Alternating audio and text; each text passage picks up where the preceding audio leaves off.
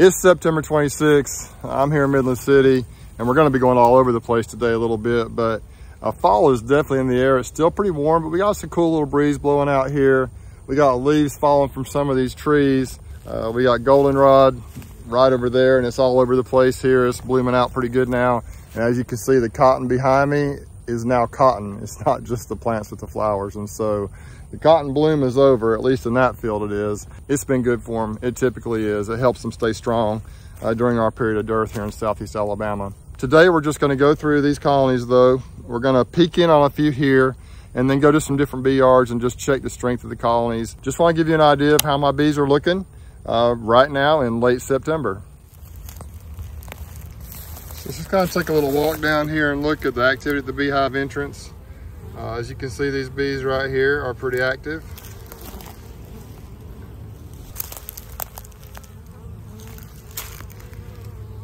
Some look a little stronger than others. This one right here doesn't look that strong. Pop the lid on this one real quick and just see what we got. Okay, we got bees in there, but not super strong. So I might need to actually figure out a way to remove that top box there or something. Just let it ride for now. Just peek in on this one though and see what we got. This one looks a little better. I anticipate a much better result here. Uh, not crazy strong, but they're doing all right. So you see them in the upper box, but they're not just packed out like I'd like to see them in this one. That's better, a little better. See they got uh, nectar and honey down in there. The stick on here is one that the bee inspector came and uh, did uh, checked out a few weeks ago. Did some mite washes just to kind of check on them and see how they're doing.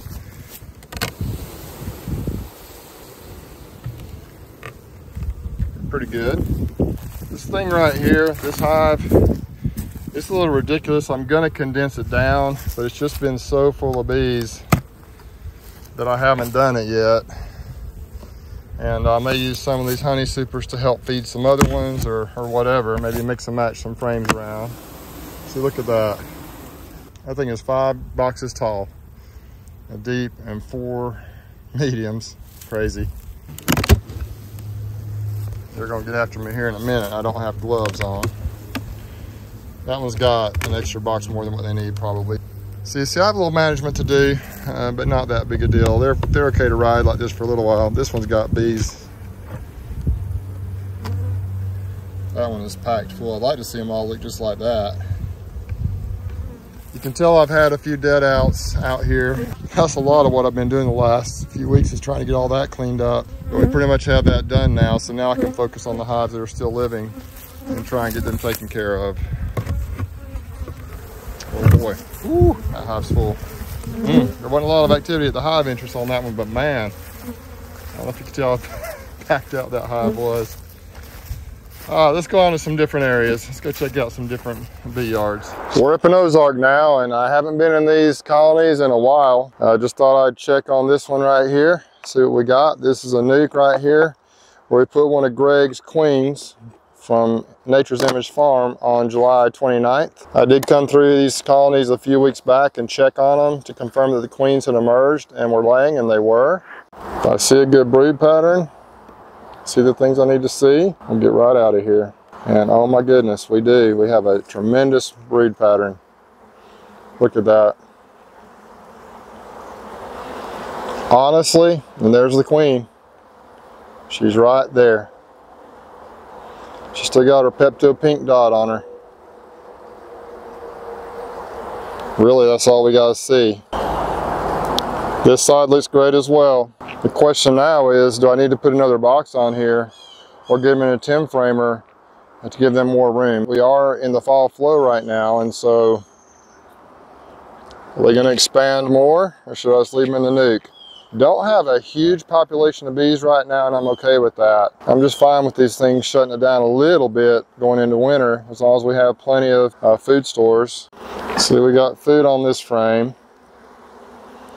We have honey and pollen. Same thing here, mostly honey. So what do y'all think? Should I add some space on here? Should I put them in a bigger box? Should I just add another nuc box on top, make them a double deep nuc?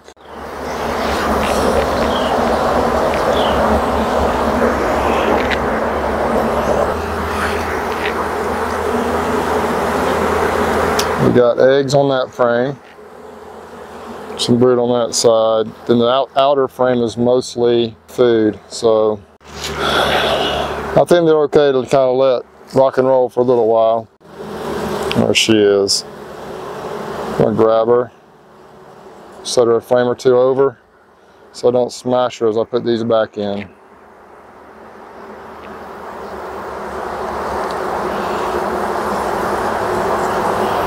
Looks like she's established doing well. The attitude seems pretty good, so I'm happy with that. Let's go check on another one. Now this one right here was a pretty weak split when we made it because we took the split from this colony right here next door. And so there weren't a lot of bees in here, but it did have one of Greg's queens in there. So let's just check it out. And I can already tell you it's looking pretty good. Uh, with the number of bees in here because it was not very strong when we actually went in here last time and found the queen. Gosh, it's been a long time since I've been through these colonies. Now we got honey, we got pollen. Uh, not a lot of population, but we definitely have bees. Okay, she's laying it up a little bit here.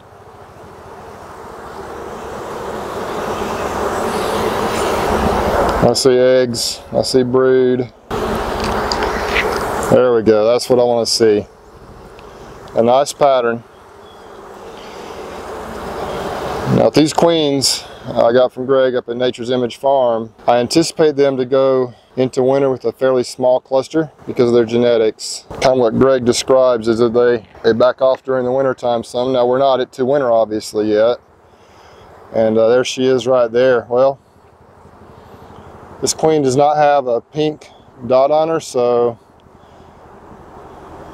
I really don't think they've had a chance to requeen her and have all this uh, brood in here since I was in here last time. So they must have just removed the pink off of her. There she is right there. That's interesting. Maybe they just cleaned the dot off and I guess there's a small possibility they superseded her, but I really don't think if they had done that, we would have as much population as we do in here. Attitude is really good. Not getting after me at all. All right, shall we go in one more? Let's go in one more. This is another one. The new queen's in there from Greg.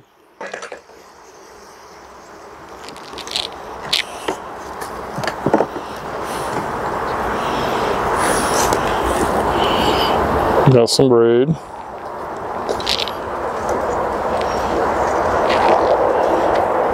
We're putting some nectar in around here. That's the fall flow going. I'm not feeding right now. There we go.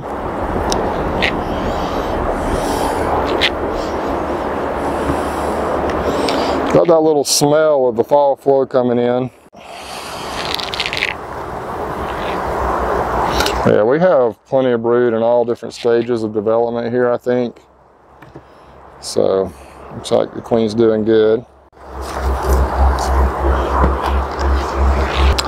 I'm a little concerned with the food stores in these colonies though. I'm not seeing a lot of it. So I might have to get up here and feed. Different areas, it's amazing the difference. It's got a little bit of honey right there. See, I'm not even really smoking these bees, or I haven't yet much, and they seem to be quite calm, so maybe the new genetics are working. Okay, right here we've got pollen all around the edges, a little honey around the top.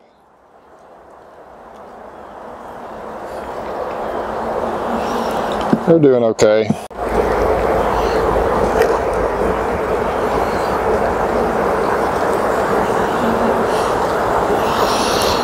They seem to be quite calm, just working the frame. It's one of the coolest things about beekeeping is just that rhythmic motion of the bees as they walk across the frame doing their thing. It is quite therapeutic.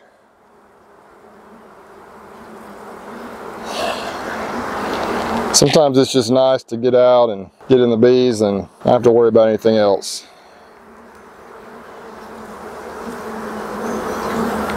Uh, nice little brood pattern there in the middle, pollen all around the edges, a little honey in the corners. And then I believe this outside frame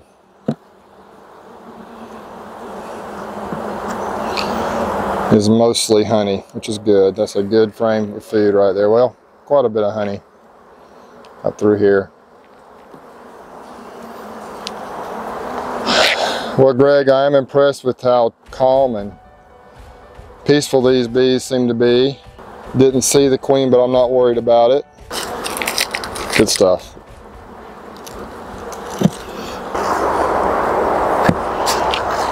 Well, I went through and I checked the weight on these colonies, uh, tipped them up, and most of them feel a little bit light. So I think I need to get some food out here, get some weight on them. Maybe the fall flow is not that great, at least not out here. So I need to get something done about that. I'll try and get that done in the next few days. I also did mite washes on several of the colonies, and I had results of anywhere from zero mites to seven mites. Uh, if you consider a 3% threshold, I'm within the threshold on all of these, but I really don't want to see six or seven mites in these colonies in the washes. And so I'm probably gonna order some Apigard and try that out. I've never done that before. Even though most of them are within threshold, I just would like to knock those mites on down further. If you have any thoughts on Apigard in the fall, let me know. Uh, but I'll try and probably get that in here in the next, uh, get those done in October. And then I'll try and get back here sometime in the winter and treat using oxalic acid. And I have one of the new Insta Vapes ordered from Rob at LoRob Bees and I'm excited to try that thing out. Should make life a lot easier for oxalic acid treatments. Overall, there are bees in these colonies. They look fairly healthy. And they're not just booming like they are in the springtime. Uh, they're starting to kind of go into a little bit of a, a winter type mode, I think. They're backing off a little bit on brood production. I did not see many drones, I saw a few. Uh, but mostly they're just kind of starting to hunker down a little bit, I guess, and get ready for winter. This area right here in Ozark, is a great honey producer for particularly the tallow flow. There must be a lot of tallow around here, which is our biggest harvest. Other times during the year, these bees will starve out quick. There's not a lot coming in. And it's amazing how beekeeping can be so regional, even in a specific geographic area. Some of my bees right now are bringing in stuff. They're looking great and they're pulling in, they're, they're putting on weight. These just aren't putting on a lot of weight right now. So I gotta do something about that the feed. All right, Y'all take care, be safe, and we'll catch you on the next one. And if you want to see the video where I put those queens in of Greg that we looked at today, check it out right here.